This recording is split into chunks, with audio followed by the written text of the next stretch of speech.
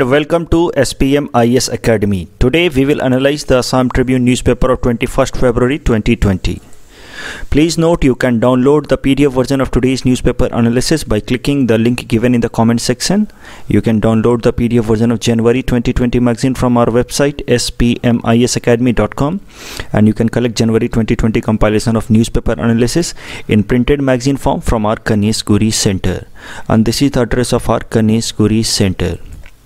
This is the list of the topics that we will cover from today's newspaper.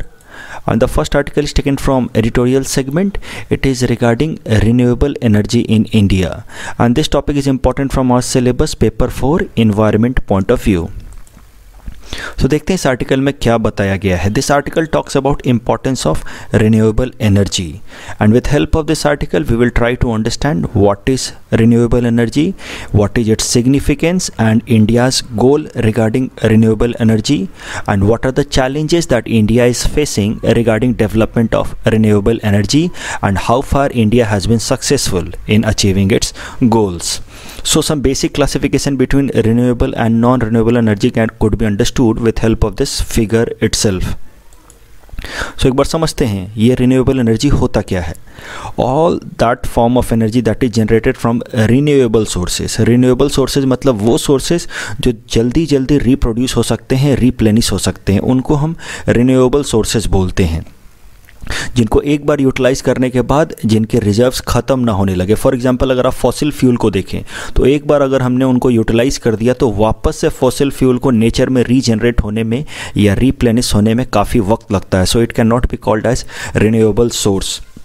so, all these, coal, nuclear, natural gas or fossil fuel, they are part of non renewable energy.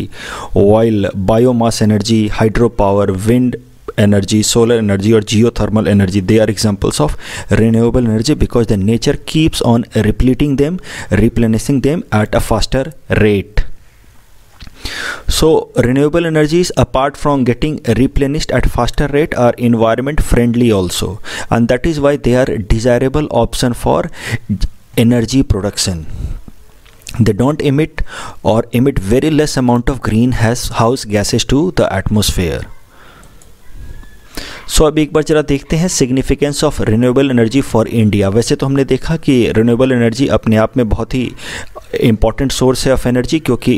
ये लगातार replenish होता रहता है। इस कारण से human की vulnerability नहीं बढ़ती है एनर्जी सिक्योरिटी गारंटेड होती है। उसके अलावा ये इन्वायरमेंट फ्रेंडली भी है। लेकिन इंडिया के कॉन्टेक्स्ट में रिन्यूएबल एनर्जी और भी क्यों ज़्यादा इंपॉर्टेंट है, उस पॉइंट को भी हमें समझना चाहिए। Why renewable energy is much more significant for specially countries like India तो सबसे पहला इंपॉर्टेंस होगा रिन्यूएबल एनर्जी का for India regarding oil demands तो इंडिया के अंदर ऑयल डिमांड्स काफ़ी ज़्यादा है। और इंडिया के पास ऑयल रिजर्व्स इनफ है नहीं। To meet our energy resources like petrol and diesel. And that is why India imports about 80% of its oil need. और हमारा जो import होता है, वो मैक्सिमम मिडिल ईस्ट कंट्रीज़ से आता है वेस्ट एशिया से आता है। और मिडिल ईस्ट या वेस्ट एशिया आपको पता है, वो पॉलिटिकली या सिक्योरिटी वाइज काफ़ी वोलाटाइल है। वहाँ हर बार कुछ ना कुछ टेंस सिचुएशंस क्रिएट हो जाते हैं। और that makes India vulnerable always क्योंकि वहाँ पे अगर कुछ भी टेंस सिचुएशन होगा तो ऑयल एंड गैस के जो प्राइसेस हैं वो काफ़ी हाई हो जाते हैं बहुत बार सप्लाई भी कट ऑफ़ कर दी जाती है और बार बार इंडिया को फिर वो वलनरेबिलिटी या एनर्जी सिक्योरिटी रिस्क फेस करना पड़ता है। सो so, ये एक इंपॉर्टेंट कारण है कि इंडिया को फोकस करना चाहिए on building renewable energy sources दूसरा renewable energy sources are clean source of energy and India के अंदर आपको पता है पॉल्यूशन का प्रॉब्लम बहुत ज़्यादा है। Seven out of ten top most polluted cities of the world belongs to India. And New Delhi is considered to be the pollution capital of the world. तो ऐसे हालात में India must emphasise on renewable energy sources that are clean source of energy तीसरा rural electrification तो अभी भी हमारे यहाँ पे अर्बन रूरल डिवाइड काफ़ी वाइड है। रूरल एरियाज़ में अभी भी हमें इलेक्ट्रिफिकेशन करना और कंसिस्टेंट रूप से इलेक्ट्रिसिटी प्रोवाइड कराना अभी भी हमारे लिए एक डिस्टेंट ड्रीम बना हुआ है। और कन्वेंशनल एनर्जी सोर्सेज से ये अचीव कर पाना थोड़ा डिफ़िकल्ट है, क्योंकि कन्वेंशनल एनर्जी सोर्सेज के लिए हमें रूरल एरियाज़ में इस तरह के सेटअप्स लगाने होंगे लॉन्ग लाइन ट्रांसमिशंस बिछाने होंगे। और सिर्फ़ ट्रांसमिशन लाइन बिछाने से भी नहीं होगा, उसके अलावा हमें कंसिस्टेंट इलेक्ट्रिसिटी सप्लाई भी देनी होगी। और इस कारण से रूरल एरियाज़ में अभी भी पावर कट का प्रॉब्लम बहुत ज़्यादा प्रोमिनेंट है, क्योंकि बहुत सारे रूरल एरियाज़ तो इस तरह के लॉन्ग टर्म ट्रांसमिशन लाइन से कनेक्टेड नहीं हैं और अगर कनेक्टेड हैं भी तो वहाँ पे कंसिस्टेंट इलेक्ट्रिसिटी सप्लाई हम कर नहीं पाते हैं because of power deficit in our country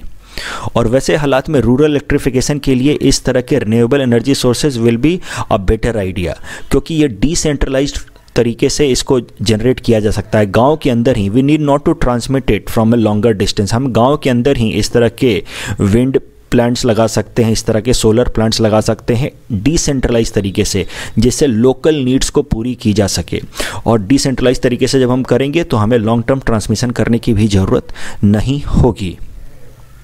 So, these are the three important factors that makes renewable energy especially important for india अब जरा देखते हैं इंडिया के टारगेट्स क्या है regarding renewable energy so India ने काफ़ी एम टारगेट बना रखा है regarding generation of renewable energy and target of India is to have an install capacity of 175 gigawatt by 2022 तो आने वाले दो सालों में हम 175 गीगावाट तक की रिन्यूएबल एनर्जी प्रोड्यूस करने का हमने अपना टारगेट बनाया है according to ministry of new and renewable energy but right now our installed capacity is only 35 gigawatt तो ये टारगेट हम बुरी तरह से मिस कर रहे हैं। अगर आप इस फिगर की मदद से भी समझे तो आप देखेंगे कि हमने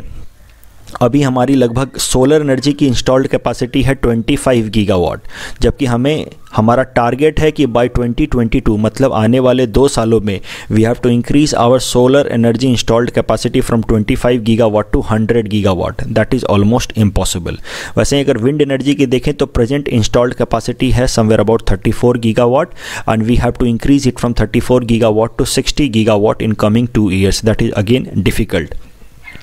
जो हमने टारगेट बनाया है of 175 gigawatt renewable energy to be produced by twenty twenty two उसका अगर ब्रेकअप देखें then we will find that about hundred giga watt has to come from the solar systems sixty giga watt is plan to come from the wind energy ten giga gigawatt from bio power and five giga gigawatt from small hydro power अब जरा देखते हैं what have been the reasons behind restricted growth in renewable energy sector यह तो हमने देख ही लिया कि हम अपने टारगेट्स को अचीव नहीं कर पा रहे हैं। We had a very ambitious target of producing 175 gigawatt of renewable energy by 2022 but we are missing that target very badly the reasons behind restricted growth in renewable energy sector तो first is of course high initial cost अगर हम किसी भी renewable energy plant का cost देखें तो initial investment काफ़ी high है। अगर किसी कोल बेस्ड पावर प्लांट से कंपेयर किया जाए रिन्यूएबल एनर्जी पावर प्लांट को तो हमें पता चलेगा कि पर मेगावाट इलेक्ट्रिसिटी जनरेशन के लिए in a coal based power plant we have to invest about rupees four crore at the same time for per megawatt electricity generation from a renewable energy source we have to invest about 18 crore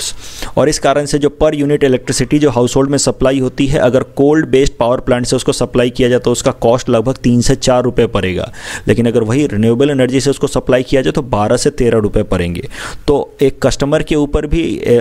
power consumer के ऊपर भी इसका काफ़ी ज़्यादा impact आएगा और production cost भी काफ़ी ऊपर चला जाएगा। That is why renewable energy sources अभी तक उनका प्रोडक्शन काफ़ी लिमिटेड रहा है। दूसरा रिन्यूएबल एनर्जी सोर्सेज के भी अपने कुछ इन्वायरमेंटल कंसर्नस हैं। जैसे कि hydro power plants when they are installed they lead to submergence of the land and it might also cause floods आपको पता है कि हाइड्रो पावर प्लांट्स बनाने के लिए हम लोग को लार्ज रिजर्वायर्स या डैम्स बनाने होते हैं और लार्ज रिजर्वायर या डैम्स बनाने के लिए हमें बहुत सारा एरिया इवैक्यूएट कराना होता है और इस कारण से लैंड क्लियरेंसेज नहीं मिल पाते। उसमें भी बहुत सारा इन्वायरमेंटल कंसर्न्स आता है क्योंकि बहुत सारे फॉरेस्ट सबमर्ज हो जाते हैं फॉर क्रिएशन ऑफ़ डैम्स तो डैम क्रिएट करना for hydro power generation that is also not hundred percent environment friendly और इस कारण से बहुत सारे इसके इस तरह के प्रोजेक्ट्स को इन्वायरमेंट क्लियरेंसेज नहीं मिला है and that is why they are stalled till day अगर विंड टर्बाइंस की बात करें तो विंड टर्बाइंस भी कुछ एक तरह के पॉल्यूशन करते हैं। Mostly they create noise pollution जब वो विंड टर्बाइन चलता है so it creates a lot of noise pollution उसके अलावा it kills a lot of birds in its operations अगर फाइनेंशियल फैक्टर देखें देन ऑल्सो विल रियलाइज़ कि renewable energy sector is not desirable source right now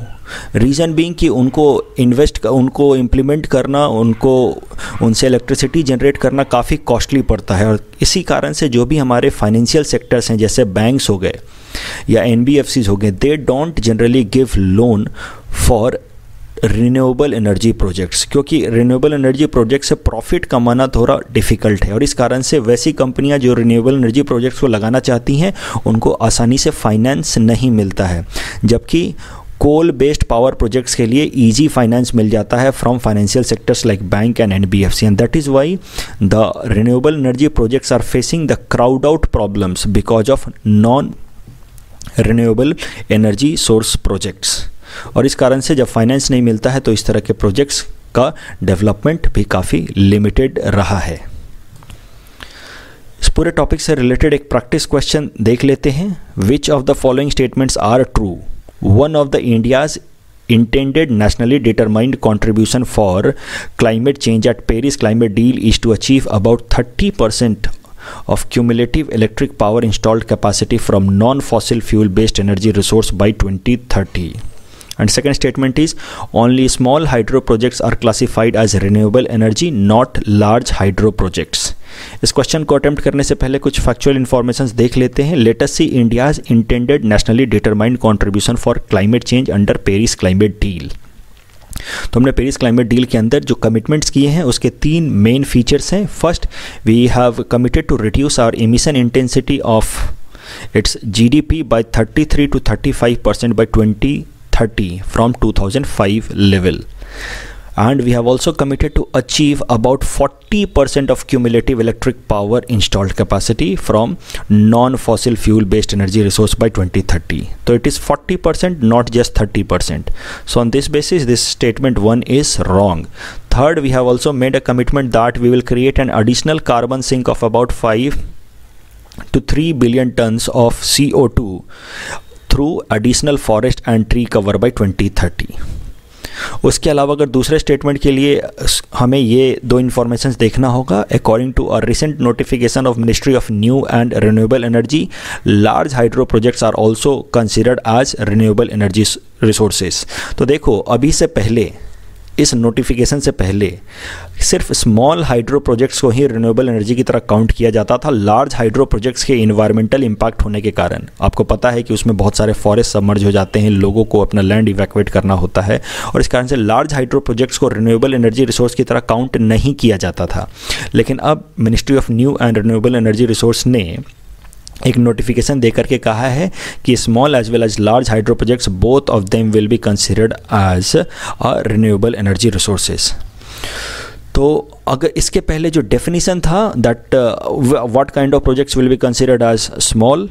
उसका definition था कि if a project hydro project having installed power capacity less than 25 megawatt then that project will be known as small hydro power project और अगर 25 megawatt से ज़्यादा है then that project will be known as large hydro power project लेकिन अब ये classification ख़त्म कर दिया गया है। Now there is no classification regarding large और small hydro project all of them are considered as renewable source of energy so on this basis this second statement is also wrong and the correct answer will be D none of the above. The next article is taken from international segment and it talks about India's neighborhood first policy and this topic is important from our syllabus paper 3 international relations point of view especially the subtopic India and its neighborhood relations. So अगर India की neighbourhood first policy देखें तो we will find that it was initiative of prime minister Modi और it is now an India's most important foreign policy तो जब prime minister Modi पहले बार प्रधानमंत्री बने in 2014 at that time only he insisted that he will focus on building strategic ties with India's neighbour क्योंकि neighbourhood में safety security and cooperation ज़्यादा important है। ऐसा प्रधानमंत्री ने कहा था 2014 में, और इस कारण से ही showed interest in building good ties with neighbour countries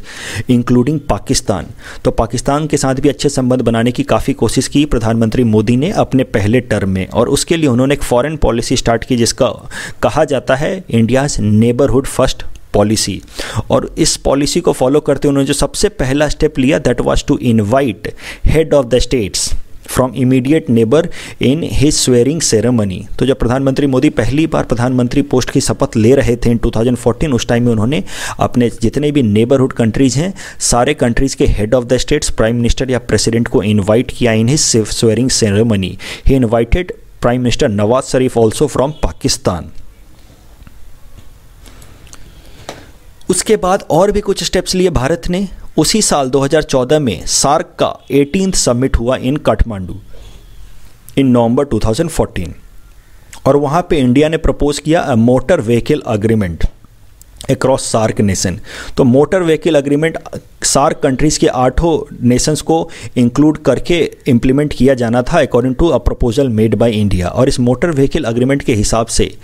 जितने भी कार्गो या पैसेंजर व्हीकल्स हैं they could easily move from one territory to the other territory तो इंडिया का कोई ट्रक आराम से अगर ये मोटर व्हीकल अग्रीमेंट साइन हो जाता तो इंडिया का कोई ट्रक अगर कुछ भी कार्गो लेकर के, मान लो स्टील या सीमेंट लेकर के जा रहा है it could easily enter in Pakistan after showing proper like it could move to other areas like Nepal Bhutan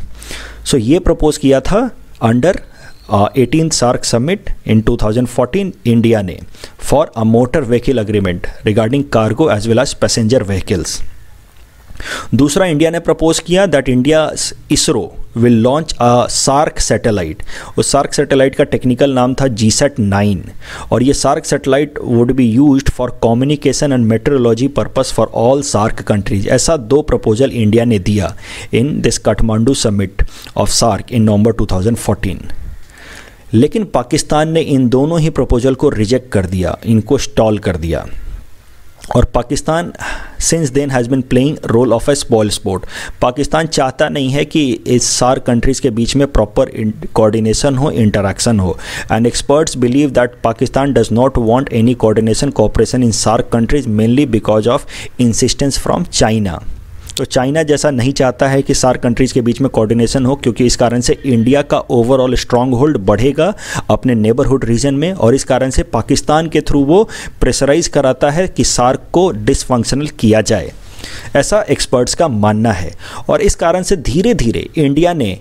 beyond Pakistan approach अपनाना शुरू किया। धीरे धीरे इंडिया ने एक अप्रोच अपनाना शुरू किया, जिसको हम लोग बोलते हैं sub regional cooperation. Sub regional cooperation means SAARC minus Pakistan. So India is adopting this approach that India is willing to now have better coordination with other countries of SAARC while neglecting Pakistan. इसको हम लोग बोलते हैं sub regional cooperation. And this is new kind of initiative by India और इसी को follow करते हुए 2017 में इंडिया ने सार्क सैटेलाइट लॉन्च कर दिया। इसरो ने सार्क सैटेलाइट लॉन्च कर दिया। And now this SAARC satellite provides meteorological as well as communication service to all countries of South Asia except Pakistan उसके अलावा इंडिया ने मोटर व्हीकल अग्रीमेंट भी sign करा लिया between four countries of SAARC that is Bangladesh Bhutan India Nepal and that is why this project is known as B B I N motor vehicle agreement ये agreement पूरी तरह से sign हो गया इन चार कंट्रीज़ के बीच में, लेकिन इसका इम्प्लीमेंटेशन अभी बाकी है because Bhutan is not willing to implement this fearing environmental concerns उसका ऐसा मानना है कि अगर ये हाईवेज बन जाएँगे जो भूटान को ईजिली कनेक्ट करेंगे तो बहुत सारे इंडिया से टूरिस्ट जाएँगे भूटान के अंदर और भूटान के वो इन्वायरमेंट को डैमेज करेंगे. तो इस कारण से अभी B B I N motor vehicle agreement भी इम्प्लीमेंट होना बाकी है. Nevertheless it has been signed and accepted amongst the member countries उसके अलावा इंडिया ने बाईलेटरल एफर्ट्स भी अब लेने शुरू कर दिए हैं पाकिस्तान को नेग्लेक्ट करने के लिए इन साउथ एशिया रीजन तो इंडिया के कुछ बाईलेटरल एफर्ट्स देखे जाए in South Asia region then will find कि with respect to Sri Lanka, India ने 450 मिलियन डॉलर का एक लाइन ऑफ़ क्रेडिट स्टैब्लिश किया है। हाल फ़िलहाल में इंडिया ने 280 एम्बुलेंसेज गिफ्ट किए थे श्रीलंका को। उसके अलावा India and Sri Lanka jointly developing Trincomalee port of Sri Lanka. वहाँ का जो ऑयल स्टोरेज टैंक सिस्टम है, उसको इंडिया और श्रीलंका गवर्नमेंट ज्वाइंटली डेवलप कर रहे हैं। दिस इज़ त्रिकोण माली पोर्ट उसके अलावा India is also developing East container terminal at Colombo port of Sri Lanka अगर मालदीव के रिस्पेक्ट में इंडिया की फॉरेन पॉलिसी देखी जाए तो हाल फ़िलहाल में there has been significant improvement Maldives has initiated a foreign policy known as India first foreign policy और उनके जो मौजूदा प्रेसिडेंट हैं, ईबू सोली, उन्होंने अब अपना स्टैंड साफ़ साफ़ क्लियर कर दिया है now he is willing to integrate more with India इसके पहले जो प्रेसिडेंट थे, Abdulla Yameen till 2018 he was more and more inclined towards China और उस टाइम में इंडिया और मालदीव के बीच में कुछ डिफरेंसेस आ गए थे। सबसे इसमें इंपॉर्टेंट फैक्टर था 2015 का जो लॉ बनाया था मालदीव ने, उस लॉ के हिसाब से चाइनीज़ कंपनीज़ को उन्होंने अलाउ किया टू होल्ड और ओन आइलैंड्स इन मालदीव और इस कारण से India had expressed its reservation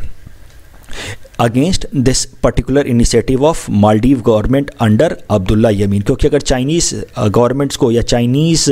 companies को मालदीव में आइलैंड्स मिल जाएँगे then they could build naval bases also in Maldives and that could put some threat over India लेकिन जब से 2018 में Abdulla Yameen has been replaced by Ibu Solih now Ibu Solih has again expressed willingness to have better ties with India rather than making coordination with China and that is why he has accepted और brought a policy known as India first policy उसके अलावा India ने एक trilateral naval exercise भी चलाया है between India Sri Lankan and Maldives navy जिस exercise का नाम है दोस्ती। नेपाल के रेस्पेक्ट में देखा जाए तो इंडिया ने अपनी कुछ बायोलेट्रल इनिशिएटिव्स लिए हैं, जैसे कि इंडिया है सेटअप है pipeline from Motihari that is in Bihar to Amlekhganj of Nepal आपको पता है कि 2015 में नेपाल के अंदर बहुत ही कैटेस्ट्रॉफिक अर्थक्वेक आया था। उसके बाद से इंडिया ने वहाँ पर कुछ हाउसिंग प्रोजेक्ट्स लिए हैं specially in Nuwakot and Gorkha region of Nepal जहाँ पर सबसे ज़्यादा अर्थक्वेक का इम्पैक्ट महसूस हुआ था and that led to some infrastructural collapse in Nepal Bhutan के रेस्पेक्ट में अगर हम देखें तो इंडिया ने कुछ इनिशिएटिव्स लिए हैं, जैसे कि 750 मेगावाट का हाइड्रो प्रोजेक्ट इंडिया ने स्टार्ट किया है at Mangdechhu and India has also introduced RuPay card in Bhutan for digital transactions Myanmar के रेस्पेक्ट में देखें तो इंडिया ने कुछ इनिशिएटिव्स लिए हैं, जैसे कि India has gifted kilo class submarine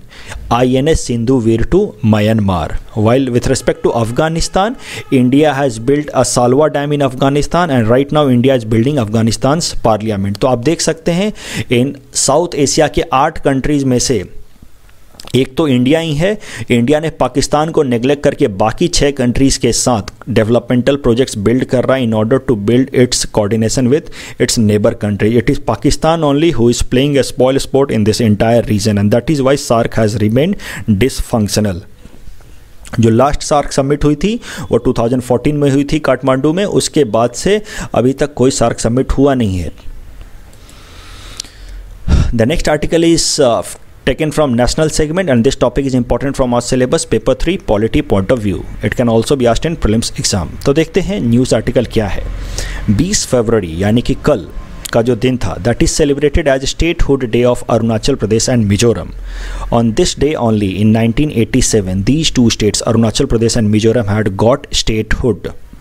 और इसी ओकेजन पे होम मिनिस्टर अमित शाह जी ने भाषण देते हुए कहा that no one can abrogate special status of these states provided under article 371 तो हमें समझना होगा कि इस स्टेटमेंट के पीछे बैकग्राउंड क्या है। तो देखो, आप सबको पता है कि जम्मू एंड कश्मीर को स्पेशल स्टेटस दिया गया था according to article 370 of Indian constitution but that was de operationalise on fifth August 2019